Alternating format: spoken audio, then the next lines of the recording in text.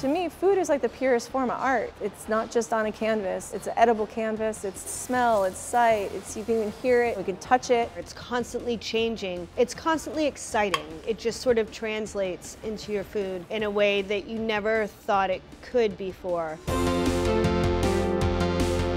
Most galleries would tell you the best way to view their artwork is from behind a velvet rope. Ruta Laukien would say it's with a cocktail in your hand, which is why she created Liquid Art House in Boston's Back Bay. I really started with my love for the art, so I wanted to bring it into an approachable environment, everyday environment, to drinking, eating, looking at the art, instead of me being sterile, that's something that you stare at on the wall. When you first walk into this gallery eatery hybrid, you may need a moment to catch your breath. With 25 foot ceilings, a massive glass blown chandelier, and exhibits on either side, it's truly a feast for the eyes. And for the right price, anything could be yours. From a funky throw pillow to a painting fit for a feature wall. But unlike most working galleries, Liquid Art House is all about fun and hospitality. Just ask executive chef Rachel Klein. It's pretty intense the first time you walk in, but we are a liquid art house. We do consider it a home. We don't want to come across as like a pretentious art space. I just want people to like the space and love the food, and that's it. It's hard not to love this trendy space, and as for the food, it's practically a guarantee. From the flavors to the presentation, each dish served by Chef Rachel and Chef de Cuisine Stacy Cogswell is nothing short of a masterpiece. For comfortable, shareable eats, the menu offers a house-made German pretzel perfect for dipping with tangy mustard butter and bright scallion pancakes stuffed with duck confit, radish, and cilantro. They're bright green.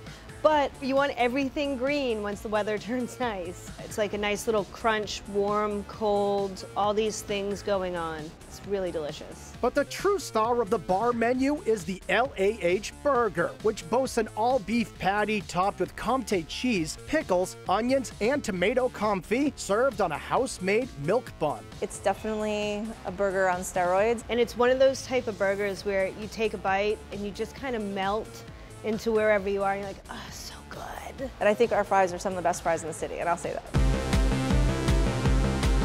If you want a meal that's a bit more manicured, head into the dining room where the plates are so pretty you almost feel bad eating them. There's Berkshire pork over English peas, pickled honeydew, king trumpet mushrooms, and fresh mint, and local scallops alongside parsnip puree, grapefruit, and chamomile sauce. The scallop dish I would describe as very unctuous and elegant. The scallops are super fresh and they're briny, sea sweet. Then we have little finger lime, so they're those little pearls, so they almost look like pink caviar for texture and crunch, and then they pop in your mouth. People love that dish a lot. But for a taste that's a little more homey, order from the dumpling section, inspired by Ruta's childhood in Lithuania. I grew up on it. My grandmother made it, my mom made it, and uh, Rachel took the traditional recipe and then made it a little bit more modern and less rustic. These dumplings are far from Peking ravioli. They're more like gnocchi, with a melt-in-your-mouth texture and irresistible